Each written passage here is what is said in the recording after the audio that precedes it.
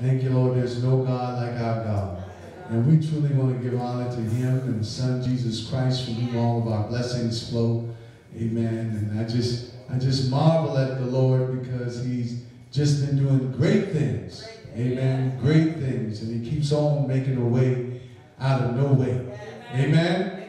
Hallelujah. I'm so excited about Jesus and that, that the fact that he makes my life better.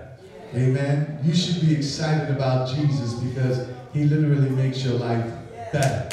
Amen. So we want to give honor to him and we want to thank and praise the Lord for our First Lady, Lady Tracy Quinn. Come on, give God a praise for her. We have a, such a tremendous man of God in our midst on today. Thank you, Lord. I went to his, uh, uh, they did a pastoral appreciation uh, dinner uh, for him and I to attend. And literally, when they did his bio, I was like, oh my God, I got tired. Amen. That brother is, this brother is a laborer. Amen. Did some mighty works and some mighty things, and not only in uh, the city of Rochester, but with the Nipane States Council. Amen. And he's done some things that, uh, my God, God. I was like, wow, Lord, just give me the strength. Amen. Just give me the grace, Lord. Amen. They still look good. Amen. Still look good. Humble before the Lord. Amen. Truly a laborer and his wife is dynamic. And right now, without further ado, he's going to be preaching the word on today. Amen. Truly, God has a word for us. Amen. How many know God has a word for you? That is our declaration on today. Please don't sit down. As a revealer of his divine truth for your life. God bless you. Amen. So, uh, Second Chronicles chapter 7. Now when Solomon had made an end of praying, the fire came down from heaven and consumed the burnt offering and the sacrifices. And the glory of the Lord filled the house. And the priest could not stay, could not enter into the house of the Lord because the glory of the Lord had filled the Lord's house. And when all the children of Israel saw how the fire came down and the glory of the Lord upon the house, they bowed themselves with their faces to the ground upon the pavement and worshiped and praised the Lord, saying, For he is good, and his mercy endureth forever. Amen. We thank God for the reading of the word. You may be seated in the presence of the Lord And if you will let him. In the text here, we find that the children of Israel Amen. Solomon has hired them. They're going to build the temple. And so they begin to build. And as they're building, something is happening in their midst. You see, this is the beautiful thing about when the people of God get together on one accord. Amen. When they get together on one accord and they begin to work for the Lord. Amen. God will begin to do something beautiful in your midst. Amen. Amen. The Bible says how good and how pleasant it is for brethren to dwell together in unity. It's like the precious ointment, amen, that was poured on the head and ran down the beard of Aaron's garments, even to the skirt of his garments. He says, as the dew of Hermon. Amen. There, the Lord commands a blessing. Amen.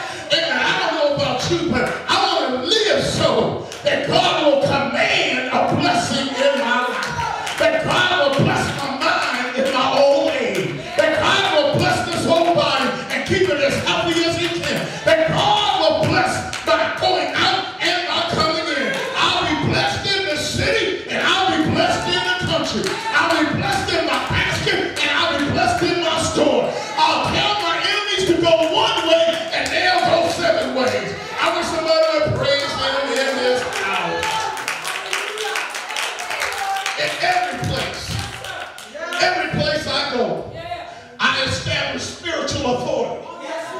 Come on here, somebody.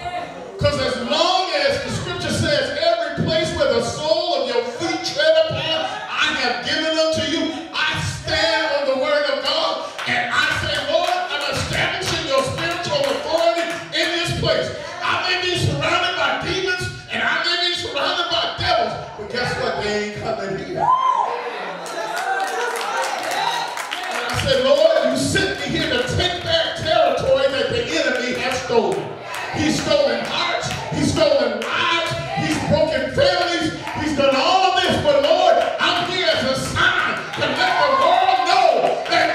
Jesus lived. That not only did he die, but he rose again.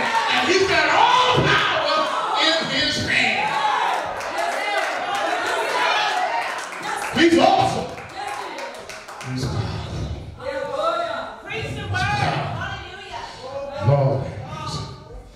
So because, amen, the people of God rallied behind the new king and they began to work.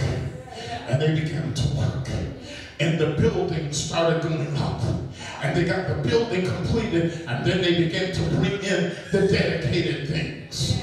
Amen. Amen. There is something about the dedicated things, amen, of God. The word dedicated, amen, is almost the same as the word sanctification. Amen. It means to set apart, to be used by God. Amen. Amen. This. Amen. In spite of the fact that you don't get it right all the time, in spite of the fact that you